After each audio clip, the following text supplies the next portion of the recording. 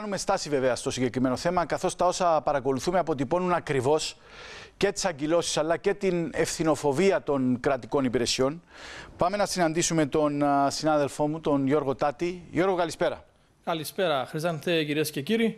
Ε, βρεθήκαμε σήμερα ενώπιον, όπως έδειξαν και τα πλάνα, μιας κατάστασης η οποία αφήνει έολο τον τρόπο με τον οποίο οι κρατικές υπηρεσίες ενήργησαν στην υπόθεση. Πρόκειται για δεκάδες μετανάστες. Οι πληροφορίες μας λένε ότι υπάρχει μαρτυρία ενώπιον της αστυνομίας πως πρόκειται για 70 άτομα τα οποία διαβιούν σε δωμάτια χωρίς παράθυρα, σε ένα κτίριο το οποίο δεν έχει το στοιχειώδες αποχετευτικό και μέρος των λιμάτων καταλήγει σε φαπτώμενο τεμάχιο. Οι εικόνες που αντικρίσαμε το πρωί με την απουσία αποχετευτικού λάκου μιλούν από μόνες τους. Έχουμε καταρχήν ένα μείζον ζήτημα υγιεινής, το οποίο εγκυμονεί κίνδυνο και για τους ενίκους και για τους περίοικους. Έπειτα, όπως προκύπτει και από τα έγγραφα που αποκαλύψαμε, δεν υπάρχει στο κτίριο πυρασφάλεια. Τώρα θα τα δούμε ένα-ένα τα θέματα, απλά για να ξέρουν και οι τηλεθεατές να βάλουμε λίγο την ιστορία με απλά λόγια κάτω. Έτσι. Αυτό είναι ένα α, τεμάχιο τουρκοκυπριακό, το οποίο πήγε και αδειοδο, αδειοδοτήθηκε η χρήση του συγκεκριμένου κτηρίου ως ε, βιοτεχνία, έτσι. Το οποίο ε, υπενικιάστηκε. Ναι, μετά υπεν, υπενικιάστηκε αυτό το ε, τουρκοκυπριακό τεμάχιο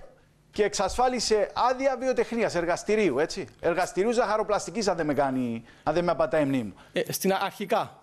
Μετά άλλαξε χρήση, έτσι, μία μία, κάτι άλλο και σήμερα αυτό το εργαστήρι, η βιοτεχνία ε, λειτουργεί ως ε, ένας χώρος ο οποίος 70 άτομα. Εδώ τώρα, ε, για να δείτε μερικές φορές πού βρίσκονται οι αγκυλώσεις, να σας πούμε κυρίες και κύριοι ότι εμείς καθηκόντως, μόλις λάβαμε τα παράπονα από ε, τους συμπολίτες μας εκεί στην περιοχή, το οποίο απλό πήγαμε στις 6 ώρα για να δούμε ακριβώς τι συμβαίνει εκεί.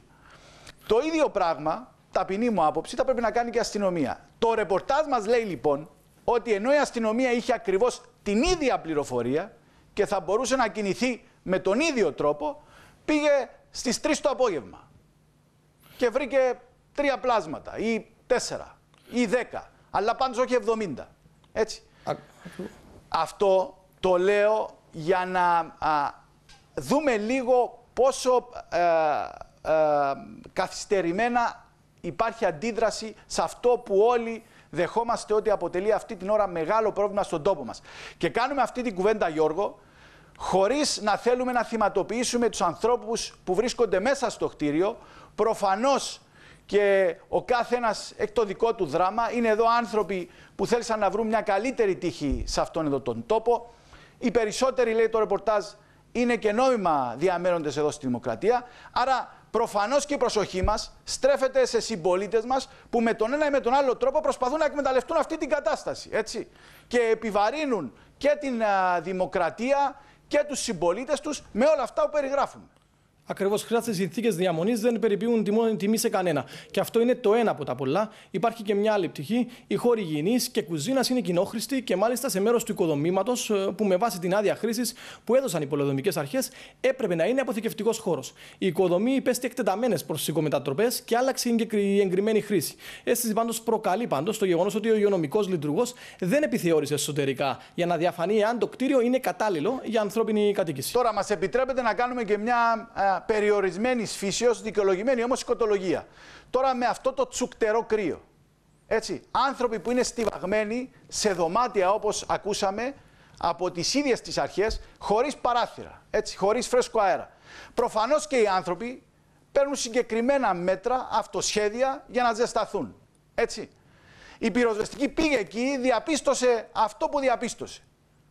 Και πως το διαπίστωσε τι συμβαίνει; Πάλι ως επιμηθή θα ερχόμαστε και να τρέχουμε πίσω από την ιστορία, όμοι γένετο άμα γίνει κανένα κακό και θρυνήσουμε ανθρώπινες ζωές, γιατί ανακαλύψαμε αυτό το οποίο θα έπρεπε να είχαμε προβλέψει με τον απλό κοινό νου.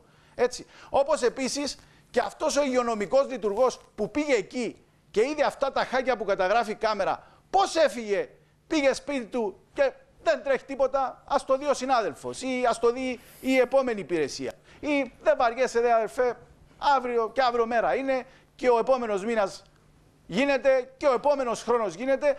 Από το 2004 είναι αυτή η ιστορία όπως είναι, έτσι Γιώργο; Ε, η, από το 2004 είχε, με, είχε, είχε ξεκινήσει ως βιοτεχνία, μετέπειτα υπενικιάστηκε, ξεκίνησε να λειτουργεί ως μουσική σκηνή, πάλι χωρίς ε, έγκριση, χωρίς αλλαγή ε, της πολυδομική ε, αρχής και τώρα ε, τους τελευταίους μήνες λειτουργεί ως ξενώνας. Δεν είναι τυχαίο, Χρυσάνθε, το γεγονός ότι και στην έκθεση προς τον Γενικό Διευθυντή του Υπουργείου Εσωτερικών η έπαρχος κρίνει πάντως ως μη ικανοποιητική την απάντηση και των υγειονομικών υπηρεσιών, όπως μη ικανοποιητικές κρίνονται και οι απαντήσεις σχεδόν όλων των υπολείπων υπηρεσιών. Οι πληροφορίες μας λένε πω έγινε, όπως είπες και εσύ, συντονισμένη επιχείρηση στο υποστατικό και από την αστυνομία ΜΑΔ, την ΙΚΑΝ και ούτω καθεξής. Πλην όμως η επιχείρηση διενεργήθηκε στη μία το μεσημέρι, ώρα κατά την οποία εντοπίστηκαν μόνο 35 μετανάστες, οι 34 εκ των οποίων είναι, όπως πληροφορούμαστε, αιτητές πολιτικού ασύλου.